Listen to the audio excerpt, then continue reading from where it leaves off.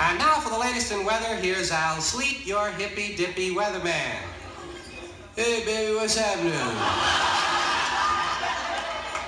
¿Qué pasa? ¿Qué, what you call your pasa? Al Sleet here, you hippy dippy weatherman with all the hippy dippy weatherman. First of all, the pollen count from Long Island Jewish Hospital. One, two, three, four, five. Now, I imagine that some of you were a little surprised at the weather over the weekend, especially if you watch my show Friday night, man.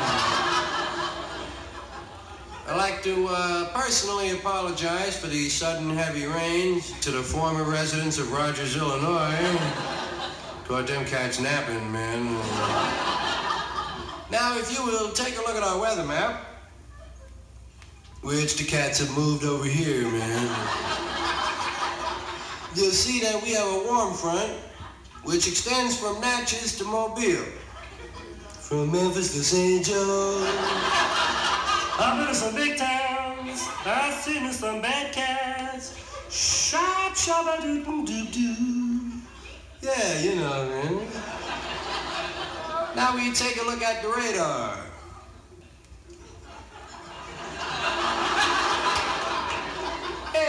Radar's picking up Sing Along with Mitch, man. Yeah. Go get him, Mitch, baby. Give me your answer, dude. I'm half crazy. But seriously, folks, the radar is picking up a line of thunder showers which extends from a point nine miles north-northeast of Secaucus, New Jersey, along the line and six miles either side of the line to a point five miles south-southwest of Fond du Lac. However, the radar is also picking up a squadron of Russian ICBMs, so I wouldn't sweat the thunder showers, you know.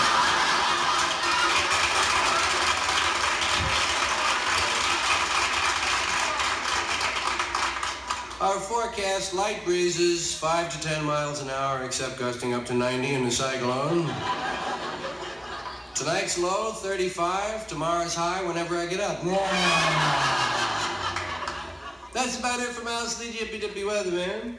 Don't forget, folks, inside every silver lining, there's a dark cloud.